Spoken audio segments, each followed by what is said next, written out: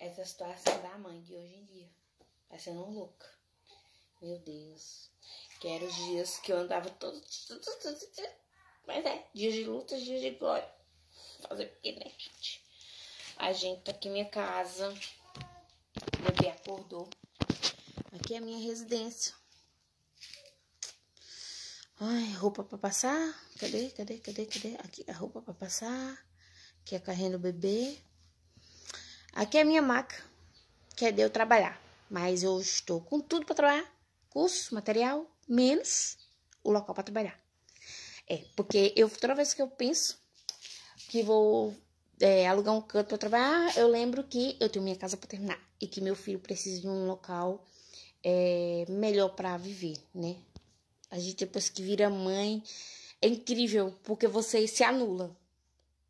Você se anula de tal maneira que, é, sei lá, não dá para explicar. Só quem é mãe e pai sabe. É, eu poderia abrir meu salão hoje mais ou menos, mas poderia. Mas o dinheiro que eu iria pagar para alugar um salão seria já um dinheiro que eu iria complementar para ajeitar as paredes daquele casa, né? O piso. E é isso, gente. Aqui seria. Aqui é meu, meu armário. Coisa simples. Aqui é o quarto do bebê. Eu tinha inicialmente colocado, sabe? essas cortinas, vocês vão ver nos meus antigos vídeos. Que eu coloquei, até botei um sim e tal, enchi aqui e tal. Botei o guarda-roupa dele aqui, mas é, esse quarto ele não tá terminado. Eu tenho que fazer uma saída de ventilação aqui.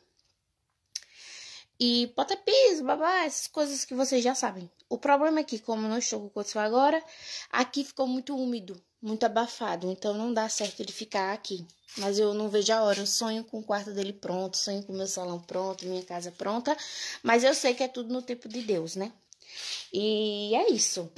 Vim apresentar vocês aqui um pouquinho da minha rotina. Estou aqui em casa, hoje estou um pouco deprê, né? Pra vocês verem, né? A gente que é mulher passa por um período sem é, voltar, né? Com seus ciclos, e quando ele tá pra voltar, a gente fica toda cheia de espinha. Aí já tá ruim o negócio, fica mais ainda.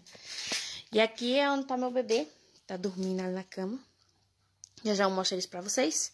E é isso, gente. Por isso que eu tô falando com vocês. É, quem puder me ajudar com qualquer valor, qualquer valor, ficaria muito grata, tá? Muito feliz pra ajuda de vocês. Isso eu tenho a agradecer. E vocês vão acompanhar aí as próximas histórias da minha residência. Eu vou mostrando um pouquinho de cada a vocês.